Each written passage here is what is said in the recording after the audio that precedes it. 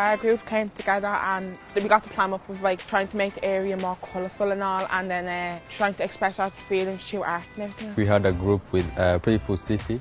We're putting on uh, art in the community basically to encourage people, to motivate them. It needs a bit of silliness, like a big rainbow or something. That's very dull.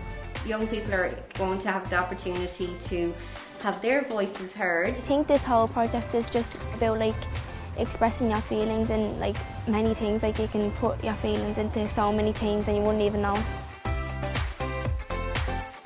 Even art and like poetry and talking when we started this we did a SOAR workshop talk about our feelings and our dreams and our goals well I think that's where our idea came from, based on like the facts of like, how we're feeling and how the community makes us feel on time to time. I like living around, around my area, but just very dull for little kids walking around. Like. It can be a very nice community sometimes, but then like you have the opposite side where there is a lot like drug related things going on and we're just trying to like express like things shouldn't really happen like that around that community, especially in front of little kids.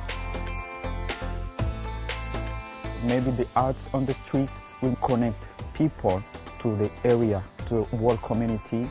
I want to know what town means to you. We did poetry and expressing our feelings in poems and stories as well. We're going to get the young people to create their own poetry and there will be murals put up around the local area using the young people's words, their own voice. What I want you to do is do a drawing Okay, so these are going to be inspired by your poem. I've been inspired by Ron Stevens. For some people, they did uh, written as to what inspires them, and others did some drawings. We stick in the sticker that, that we designed in the local area. Today we came out to finish off painting our mural and to brighten the roads up.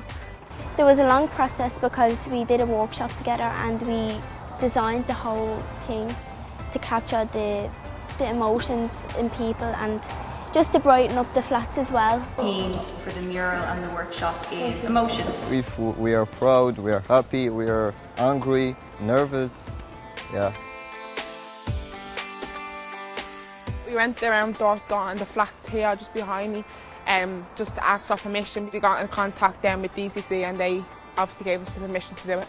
I think it makes a little bit of an event in the area while we are painting it, but it also creates a nice landmark that people can enjoy for a long time after that.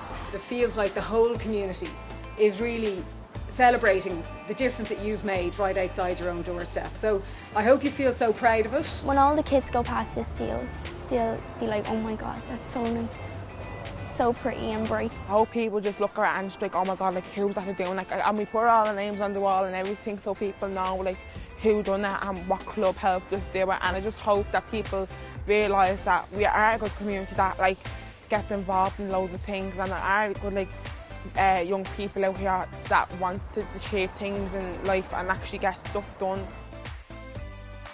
So we just wanted to really thank all of you for getting involved. And of course we want to thank HubSpot who have funded all of this and if it wasn't for them none of this would have happened either.